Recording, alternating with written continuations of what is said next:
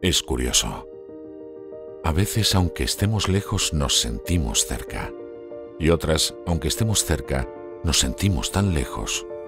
Es difícil conectar con lo que no se toca ni se ve de cerca. Y a veces, esa conexión solo necesita de un simple gesto. Porque hay ciertas cosas que aunque parece que están lejos, se están viviendo apenas a unos metros de ti. Cosas que necesitan de una conexión.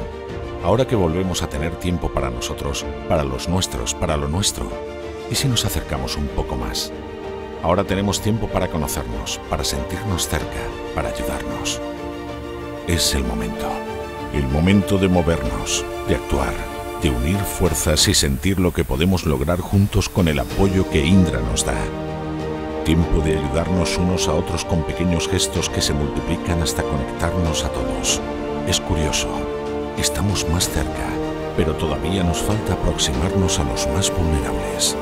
Es tiempo de ayudarnos, es tiempo de acercarnos.